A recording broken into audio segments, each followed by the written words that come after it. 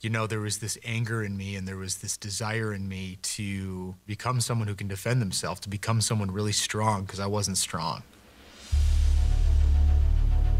I grew up an only child in a house that had a lot of anger and pain and abuse. I definitely dealt with some pretty serious bullying in my high school years. One time, uh, a guy was beating on me in class, and I looked at the teacher and she said, and I said, "Are you going to do anything?" And she said, Well, you probably deserve it. I was searching for people who would who would really love me and that I could love back. When I turned 17, I joined the military against my mom's desire. We had we had to force her to sign the document. my dad did. and they gave me a special forces slot, which uh, would give me the opportunity to be the baddest dude I, I could become. Uh, the only problem was I went to uh, the medical review and I failed the colorblind test. They said, well, you've got two options. You can be a admin specialist, which then I started crying because to go from special forces to admin, now we're, now we're struggling here. and then they offered me the other position, which would be a chaplain's assistant. And I said, which one do I have a better chance of killing terrorists and getting shot at? And they said, uh, maybe chaplain's assistant. And I said, all right, I, I want that one. You know, I deployed to Iraq when I was uh, 21 years old. We got into Iraq, and on the sixth day of my tour, uh, one of our helicopters uh, went down, and seven of our guys were killed. And I remember my uh, chaplain waking me up at, um, you know, four or five o'clock in the morning, and I remember seeing his face and he looked at me and he said, "We have we have a fallen angel, and we've lost First Sergeant Rodriguez. We've lost Anthony Mason, and and several others." And I remember my, my chaplain counseled soldiers for about 40 straight hours, one after another, after another, after another, that was just devastated. We held the memorial service, and then the next day it was like it, um, it was like it never even happened. We took that pain and we put it away and we we drove on. Several months later, there was a small town outside of our base, and one day uh, a suicide bomber walked into uh, the school that was there and blew himself up. Our base hospital took in those kids, and my chaplain and I went to the hospital, and um, you know, I saw, I saw children with parts of their faces missing and missing limbs, and um, and I just stood there, looking and, and taking all this in and, and feeling, um, feeling frozen. And all those feelings of wanting to be a hero or a combat dude and, you know, wanting to become something great. And I remember just feeling helpless. I came home, and it was a couple weeks after I came home that I began having nightmares and tremors that um, uh, that I was killing children.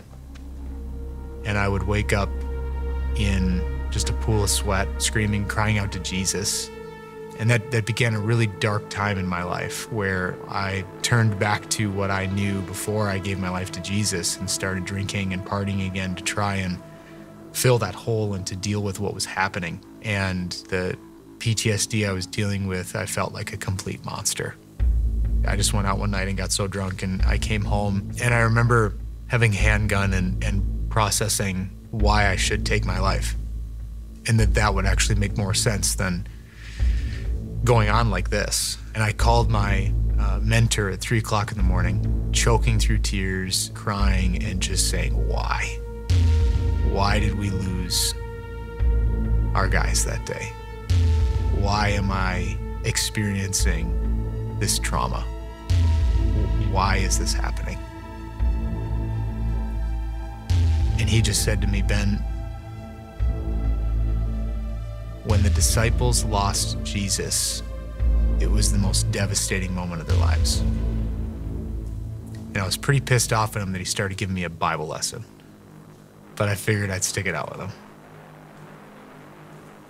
And he said, the disciples who had followed Jesus for three years and watched him do the impossible. You know, they thought that he was going to set up shop and become the king and use all of his power. But instead, he goes and gets taken away and is beaten within an inch of his life and he dies on a cross. They didn't understand. And what they couldn't see in the midst of all that pain was the greatest victory that the world had ever known, and that was Jesus dying for our sins and for the sins of the world. And he said, Ben, that's where you are you are in that place where you're in so much pain and you don't understand why, but there's a there's a Jesus victory beneath it. And if you hang in there, you're going to come back to life. Just like Jesus rose from the dead, you're going to rise back to life and you're going to have a fulfillment of a promise in your life. And I said, okay, I can believe that. I'll tell you here and now that um, it didn't get any easier but week by week, month by month, I began to re engage my faith, get around people who would support my journey. One of the biggest things that I learned was a phrase that has given me so much clarity that helplessness produces rage. In all those situations, which I know so many veterans we, we, we can relate to, of standing over someone while they're bleeding out and they're dying and you feel helpless. But what I've found is that we have to go back to the root of that helplessness so that we can have clarity for that rage and allow the love of Jesus to come into that so that we don't have to be angry anymore. That's what he's done for me, and that's what he's continuing to do. When I walked off the bus coming home from Iraq, the first thing that I saw is a hundred Vietnam veterans lined up shoulder to shoulder, holding the American flag and guarding my welcome home. And then God gave me this vision of what it would be like to honor these Vietnam veterans because they've never been honored and they've never been welcomed home. That's where God is taking us so that we can bring anything that has died in them to life in their hearts and for their families.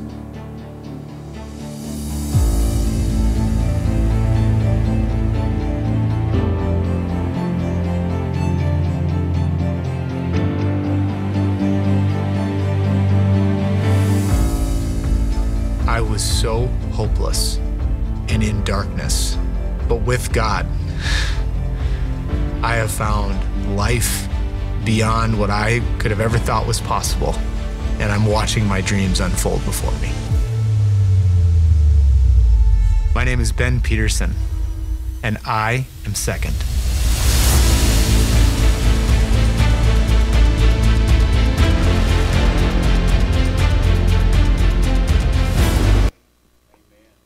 Amen all through life, we come up against situations that seem hopeless. But there's a God who brings hope to the hopeless. My question for you this morning is how do we or how do you handle grief of sin? in your life and the evil and sin of the world. We just watched Ben Peterson pour his heart out. So many of our veterans live with PTSD. And for those of you that don't know, Su- Susan is a trauma therapist. That's what she specializes in uh, utilizing a methodology called EMDR. But without Christ in your life, it is very difficult to move past part A to part B. I want to invite you to open your Bibles to Matthew, the Gospel of Matthew, chapter 5. We're in verse 4 this morning. Um, and if you would like, I'd like to, as I have the last couple of weeks, read through the first verses, uh, the first 12 verses of the Beatitudes, uh, or chapter 5. Uh, if you want to stand, that's great. Um, if you can, that, that would be awesome. Uh, let's read together chapter 5, beginning in verse 1. When Jesus saw the crowds, he went up to the mountain and after he sat down, his disciples came to him. And he opened his mouth and began to teach them, saying, Blessed are the poor in spirit, for theirs is the kingdom of heaven. Blessed are those who mourn, for they shall be comforted. And blessed are the gentle, for they shall inherit the earth. Blessed are those who hunger and thirst for righteousness, for they shall be satisfied. And blessed are the, the merciful, for they shall receive mercy. And blessed are the pure in heart, for they shall see God. Blessed are the peacemakers, for they shall be called sons of God. And blessed are those who have been persecuted for the sake of righteousness, for theirs is the kingdom of heaven. Verse 11 Blessed are those, or blessed are you, when people insult you and persecute you and falsely say all kinds of evil against you because of me. Rejoice and be glad, for your reward in heaven is great. For in the same way they persecuted the prophets who were before you. That's God's word this morning. You may be seated. Last week, we began the first of the Beatitudes, and we looked at the poor in spirit. And it wasn't about uh, poor from a monetary standpoint, it was literally being so poor in your heart that you have nothing but to rely upon Christ Himself. You have to lose everything to understand what Christ will actually provide. And so we must be fully dependent on Him. And today, this Sunday, we look at the sincere sorrow for sin, our sin and the sin of others. Our series is Character in the Face of Adversity. This morning's sermon message is crybaby. And sometimes we literally have to cry like a baby to get it all out, to, to know that, that once we get it all out, there is this comfort that is going to come to us from God Himself. It's not always easy, man. We want to hold that bitterness in. We, we don't want to admit to the sin that we have in our lives. We don't want to uh, uh, uh, let ourselves be vulnerable so that we could let go of ourselves and let God do what it is that He plans for us. This is part three of our series, and we're going through the Beatitudes. It's the first sermon that Christ gives, and chapters five, six, and seven are collectively known as the Sermon on the Mount. What's been happening? Well, Jesus is sitting and he's teaching like a rabbi would. And his 12 are attentive, and the crowds are seeing a different side of the Savior. What do I mean by that? As we've talked about prior to the Sermon on the Mount, he was going around and he was healing, and there were signs and there were wonders, and all of this is taking place, but now it's a little bit different. He goes up, he sits in an authoritative posture, as a rabbi would sit amongst his congregation and he begins to teach about the kingdom of heaven. And he begins to teach what it means for us as believers, what it means for us to, to give wholeheartedly ourselves over to him so that we might experience the gift that he has for us.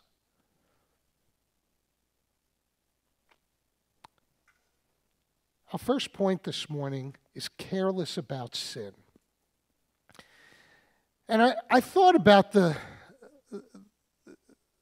the point topic titles this past week as I was working through the text. And I thought about myself specifically. Am I careless about sin? Am I, am I just kind of haphazardly going through life thinking to myself, ah, that's not that big a deal? And as I continue to walk that walk, is it becoming easier and easier and easier for me to, to give justification for that sin in my life? And then taking it a step further, is it easier and easier for me to allow for the sin that exists in the world? Am I, as the text tells us in verse 4, am I mourning in such a way that God will lift the sin in me away and lift the sin of the world away? Or am I just kind of walking? Careless about sin. The Greek word um, in, its, in its root form is uh, pentheo.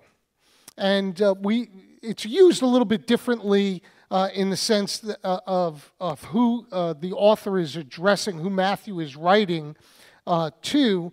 Um, and so it's more in a plural form as an adjective, um, but it means to mourn and to experience sadness of grief as a result of depressing circumstances or the condition of persons. So it is reflective of what's going on in me and it's reflective of how things are happening outside of me. Verse 4 says, Blessed are those who mourn, for they shall be comforted. The reference here is, is not to grieving or, or, or uh, mourning for the dead, but rather sadness and grief because of wickedness and oppression. And I think that everybody will agree with me this morning that there is an inordinate amount of wickedness and depression in the world. I had a conversation with somebody this morning, and, and there are things going on in life. And, and we asked that question as Ben Peterson asked the question why? Why? And, and, and why would God forgive something like that? And the answer is not for us to understand. The answer is for us to truly give that over to the Lord. The Lord is going to handle whatever that particular situation is.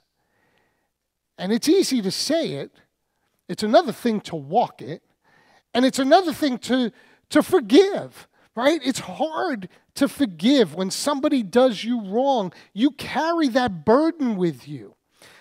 But again, I read, Blessed are those who mourn, for they shall be comforted. Sometimes you have to let go of whatever it is that's burdening you so that God can continue to use you because the person that you're angry at They've moved on. You're the one who's upset about something they don't even know about anymore. We're careless about sin. You see, sin is not necessarily uh, doing something wrong. Sin is an attitude. Sin is unforgiveness. Um, Christ went to the cross and forgave every single one of us. And the last time I checked, not a single one in this sanctuary is perfect. It's an imperfect place that we are in. We are imperfect people. We are people who were born into sin, and only by the grace of God are we forgiven of that sin. And Christ Himself went to the cross bearing all of our sin on His shoulders. And we sometimes we got to think about that. We, we got to understand what that really looks like. You know, the Beatitude uh, is uh, actually an Old Testament promise um, to those who will participate in the future kingdom. Why would Christ give us Old Testament perspective? Because he is showing us the fulfillment of the prophecy. He is sitting and teaching to Jewish um, people who are not believers in him at this point. But how else, if we know our audience, what do we do? We speak to what it is that they can understand. And that's what he's doing here. And in the sense that he's pointing out the sin in their lives, he's giving them an opportunity to get on their knees and cry out to God like a baby would cry and do what?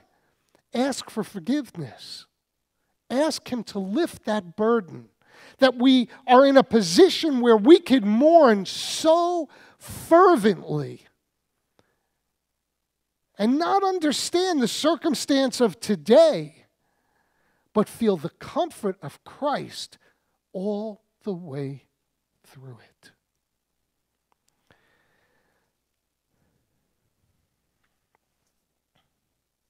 We should be mourning over the sin in our lives because all of us have it. I'm the first one to raise my hand in admission to the sin that's in my life. It could be a moment in the way that I speak to my wife.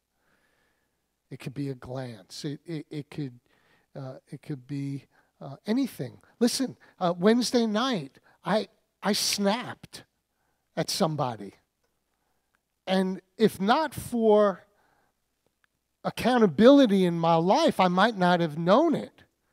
And that's how important something like that is. And I have to ask for forgiveness at that point. I'm not perfect. We make mistakes. But we have to also understand that it's not only about us. There is, an, a, is a great deal of sin in our world today. We all know what it is. I don't have to go into the details of it, but we need to be mourning over the sin in the world today that God might bring comfort and restitution and revival to us so that we might walk through this sin in the world. Re- remember that Christ said to us in, in the gospel according to John, chapter 16, verse 33, that the world is going to hate you. You're going to have trouble. You, you got to understand that in this time, if you are ad- ad- admitting to loving me, you have to know that they're going to hate you the way that they hate me. And we're experiencing that right now, today. He says this one very specific thing, though, at the end of that verse. He says, Don't sweat the small stuff. Zohn paraphrase. Why? Because I've overcome the world. And we have great hope in that. And just in that statement alone brings comfort no matter what it is that we happen to be walking through and we walk through stuff. It's just the way it is.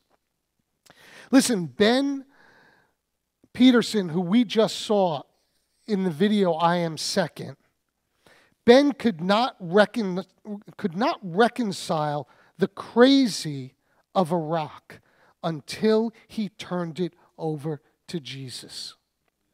He was sitting with a handgun in his hand, ready to pull the trigger because he couldn't wrap his arms around it. And here's the thing God tells us you can't wrap your hands around it. There's no way you can, or your arms around that circumstance. Until you give it over to me, it's impossible. Yeah, we're going to get angry. Yes, we're going to uh, uh, be frustrated over what other people do. Yes, we see all of that. But the reality is, get on a plane or a place where you can cry out to God like a little baby. For those of you that have children, who have raised children in your life, you know what it's like for an infant to start to cry because they're hungry. It is this fervent you would think they were dying. And, and they just hadn't eaten in a couple hours. Right? God wants us to cry out like a baby like that so that he can put his hand upon us and give us the comfort that we desire. Here's my second point this morning on my knees. Get on your knees. It's time. It's time to stop jibber jabbering about it. It's time to get on your knees and cry out to God. The condition of the human heart is it's so complicated. I don't even know how to, to put it into words that it makes sense. Our, our, heart goes in a million different directions, and our heart speaks to our head, and our head speaks to our heart. And before too long, we're, we're in la la land someplace trying to figure it all out. Ben Peterson, at his age, because of what he suffered, wanted nothing more than to be the guy. I want to be the guy. Special forces. I'm colorblind. Changes everything. We must be bankrupt. Listen to this very carefully. We must be bankrupt spiritually and then the grace of God can be introduced. But you have to be bankrupt. Let it all go. I know people in my life, they're strong, strong people. Sometimes you got to let that strength go and understand it's not you but Christ in you.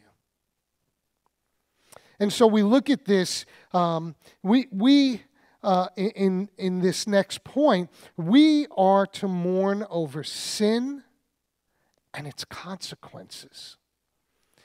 See, I think sometimes we are, it's easy for us to say, I'm sorry, but we forget about the consequences of the sin that might be uh, permeating in our lives.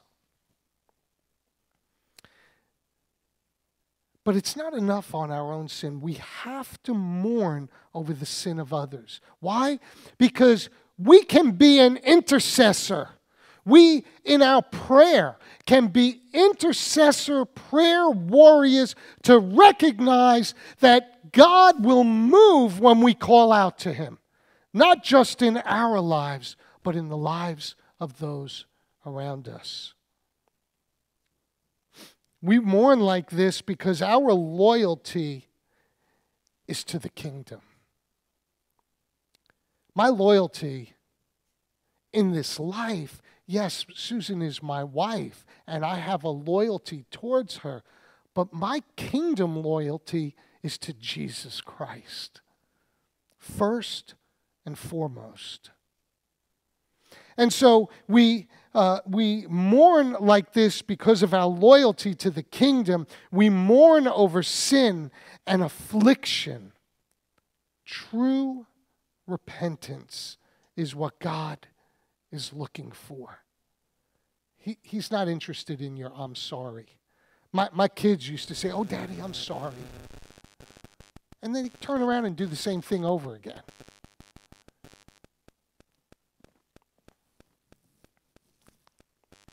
I tell Susan that all the time. Oh, Susan, I'm sorry. And then I turn around and I do the same thing all over again. Thankfully, she loves me. I'm just saying. Well, she tolerates me, let me just say. Our focus tends to drift toward affliction. Oh, woe is me. Why did this happen to me? Look at me. Me, me, me. That's not what God is asking for. God is saying, Tell me about your sin. Repent of that sin. Mourn Mourn over that sin as if you were mourning over somebody who just passed away. Think about it. When somebody close to you has passed away, you mourn. In, in, in, as a Jew, eh, when somebody passes away, you mourn for 30 days. You tear your clothing. We don't tear our clothing anymore. Typically, we take a little piece of black cloth and we pin it to the lapel. We don't shave. We sit on wooden boxes. We sit shiva. We mourn over the loss, right? Here's the difference when a Christian dies that we know is Christian, we rejoice in knowing that to be absent from the body is to be in the presence of the Lord. But if we are not mourning over the sin in our lives, how are we going to move past that sin? It's not enough to say sorry, you must repent. That means turn away from that sin. That sin may be no more. That's what God is asking us to do. And so we do that. We need true repentance. Our focus tends to drift toward the affliction, as I mentioned. Focus our mourning to sin and evil in our lives, in the world, or even, dare I say, in the church. That's, that's another thing that's hard for people to swallow because why? We walk into a church and our expectation is perfection. These are Christians, they're godly people. They don't make mistakes. They, are Christians, and so they're perfect now. Yeah, not now. Anybody who's been in church for any length of time, you've seen enough go on in churches to, to, to shake your head and go, This is church? Are you kidding me? Who are these people? But God tells us to focus our mourning uh, uh, uh, to sin and evil in our lives to the world? Yes, focus our mourning on the world because the world literally is going to hell in a, has, in a handbasket. And yes, as I have been mentioning over the last several weeks, why so much I want people to sign up and be a part of the prayer teams that we're trying to put together. Why? Because we have to pray for our church, because there's sin in the church. Every church because it's filled with sinners. I mean, that's, that's a reality of the world. We, we mourn because the righteous suffer and the wicked prevail. How many times have you found yourself looking at somebody going, that, that is the most wicked individual I've ever seen in my life? How in the world are they so successful? Look at the car they're driving. Look at the house they're living in. Look at the money that they throw around. And they're horrible. I'm sitting here. I'm, I've given my life over to Christ. I'm a prayer warrior. I do whatever it is that God calls me to do. In Acts 180 tells me to go to the ends of the earth. I go to the ends of the earth. Why am I in the plight of of crazy that I'm in, and that person over there got everything going on. They could care less if you say Jesus or don't say Jesus. They don't believe in him, they don't care. Everything they've done is in their own strength.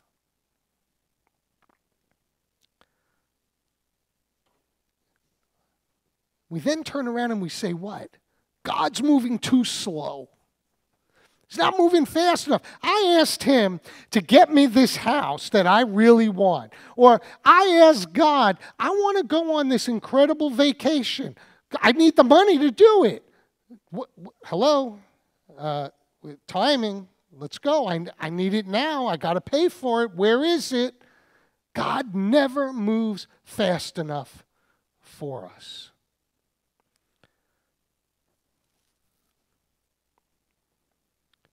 We need to mourn in our prayer in all circumstances, every circumstance. Pray for that sinner, quote unquote, who does not have a relationship with Christ. Every one of us, I, I'm making a broad assumption, have people in our families who don't know Christ, who make it very difficult for you to share what it is that's happened in your life. Some, sometimes you have people in your family who say that they're Christian, but there's no, nothing that would exhibit that in their lives. They're Christian because their mother was a Christian, their father was a Christian. They, they went to church their whole life, but they've never given their lives over to Christ. They never did. You can go to church all you want until, until you repent and recognize that it is Jesus who is Lord and turn from that sin and ask Jesus into your life, you're just going to church. All these people that were sitting around by the mountain, they weren't all believers. We'll talk a little bit about that as well. We mourn over suffering and distress in general. We got to be on our knees praying about that. We also look at those who mourn because they must turn in uh, uh, turn in faith to Jesus. We got nothing if we don't have Jesus. I'm just telling you. You're going to have a good time for the, let's say, anywheres from, I don't know, you know, if you get lucky enough to hit 80, 90, then what? Because based on based on what God tells us in His Word, that's a blink of an eye, and uh, eternity is not there for me. I don't want to go to that other place. So you got to think about that. Well, as we think about that, what do we need? What do we need? I need a comforter. Our third point I need a comforter. Somebody who's going to wrap their arms around me and, and give me the peace that I'm looking for. And in verse 4, this is the importance of what Christ is saying. He says, uh, Blessed are those who mourn, for they shall be comforted. Peter mourned. Listen, we all know what Peter did. He denied Christ three times. He, he did all kinds of crazy nonsense, Peter. If you look at Peter and he was around today, he'd be in jail someplace for all the nonsense. But see, here's the difference Peter mourned with real godly sorrow, he repented and as a result became what? He became the pillar of the church. He goes and preaches on the day of Pentecost and just rocks their world. God empowered him even in the midst of his sin, just like he will empower every single one of us in the midst of our sin when we mourn in true sorrow, and repentance. He comforts. He was forgiven. But here's the flip side to that. Who's the flip side to Peter? Judas. See, Judas was remorseful. I'm sorry. I didn't mean to do it. They made me do it. They made me do it. I'm so sorry. But he wasn't repentant at all. He did it. He didn't really care. He just wanted he wanted Jesus to forgive him because he, he messed up. But he never gave an indication that he would be able to move forward from that moment and do it again. And what does Judas do? He kills himself over it. He was remorseful, but not repentant. In our mourning, we will receive God's approval. And I don't think there's one of us here this morning that does not seek the approval of our Father in heaven, who does not seek the approval of the Son that He sent to die on the cross. Who does not seek the approval of the Spirit who dwells in every one of us who says we're a believer. We got one God who split himself up in three parts so that we would be encouraged, we would be comforted, we would know that no matter what our circumstances, he's right there with us. Ooh, that's a hello, how do you do? We are comforted by knowing Christ is coming back for his saints and he's going to judge. See, if you, if you rewind for a second, that, that guy, that lady who gets everything, could care less about the Lord, and you sit and you go, why? He's coming back to judge. 2 Corinthians 5:10 tells us what? All of us will stand before the judgment seat of Christ to give an account of what it is that we have done.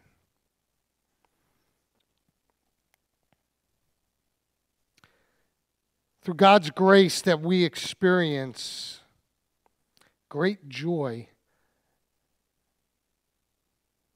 and comfort of forgiveness is given. But you got to be willing to, to give it up.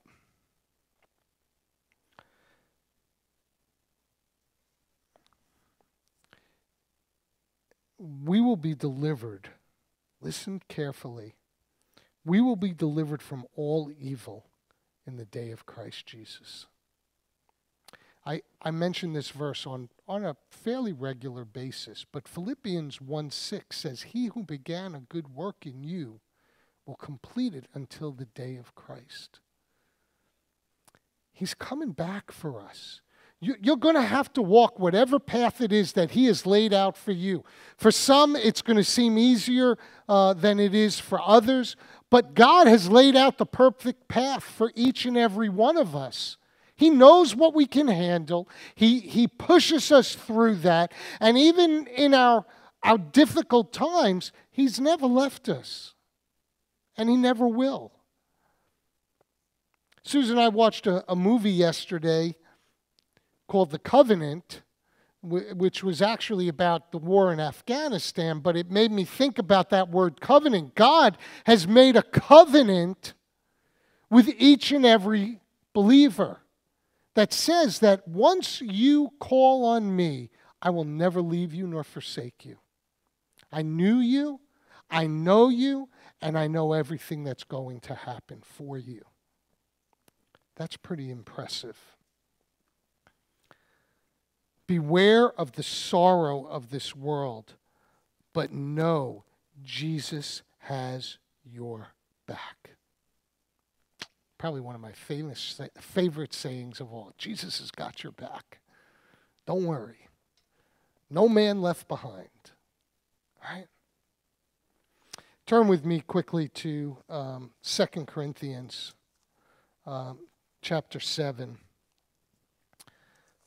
Um, it's so funny. I marked another scripture that I didn't get to and did not mark the scripture that I wanted to get to um, 2 Corinthians chapter 7, verses uh, 8 through 10. Listen to, to what Paul wrote.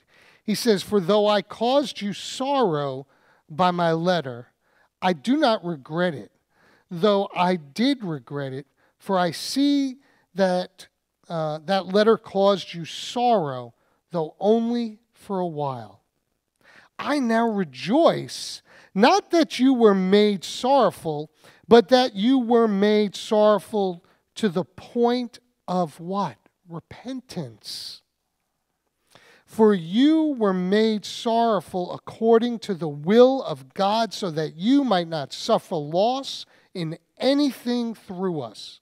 Verse 10 For the sorrow that is according to the will of God produces a repentance without regret leading to salvation, but the sorrow of the world produces death.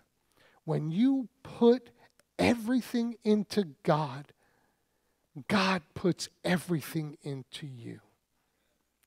He, in the midst of sorrow, will lift you up and bring you where you need to be. I'll get it. Hello. Um, see, no, nobody who's watching knows that I, I hear the phone, uh, but that's okay. Um, in conclusion, and Cliff's going to come up and, and we're going to um, have our normal time of prayer. And um, I want to say this look, it, it's not easy to wrap your arms around difficult situations. I know that. You know that. You know, you're going to sit, you look at me and you go, Pastor, you're not, you're not dealing with what I'm dealing with, right? I, I, and I'm not. Uh, but you're not dealing with what I deal with either. And um, so um, it, it's not easy to wrap your arms around difficult situations, uh, yours or another's. God calls us to be dependent on Him for everything. And uh, it's easy for me to say it, it's another thing to actually put it into practice. But He wants us to be dependent on Him for everything. Why? Because He is the one who will bring comfort. He's going to bring comfort in this world. He's going to bring uh, uh, comfort when He returns for us. And in the middle of your trial, even though you might not realize it, He's going to bring you comfort. What does Paul write in, in, in Philippians? He says, May the peace and comfort that surpasses all understanding cover you. God is a God of comfort. And perhaps you're struggling today. I, I don't know. Um, but you don't know how to fix the problem in your life. Whatever that problem is, I want you to know that Jesus has the answer. He's got the answer. L- look in His Word. That's the best place to start. Believe, listen to me, believe in Him and you will be saved, and you will receive the comfort you seek to get through whatever it is that's going on in your life. And I say this every week. I have since, well, since February 2nd, minimum, 2015. If you've never asked Jesus into your life, then perhaps today is that day. The day that you say, you know, I'm sorrowful, but I'm not repentant, and I need to be repentant. God is calling us to repentance, that you might experience the love that He has for you. Every head bowed, every eye closed. Take a moment right now, just put a, as, as we say so often, this is so Southern Baptist, but I'm going to say it anyway. Put a, put a box around you. Don't worry about who's next to you, in front of you, behind you, but take a moment right now and look at your life and determine am I truly repentant of all the things that are going on? Or am I just, hey, I'm sorry? Because if you're just sorry, maybe it's time to repent and give your life over to Christ. The scriptures tell us that if we confess with our mouth and believe in our heart that Jesus was raised from the dead, we will be saved. The wages of sin are death, but the gift of God is eternal life with Him. Woo, what a promise. Let me pray with you. Father, right now, God, I lift each and every person up.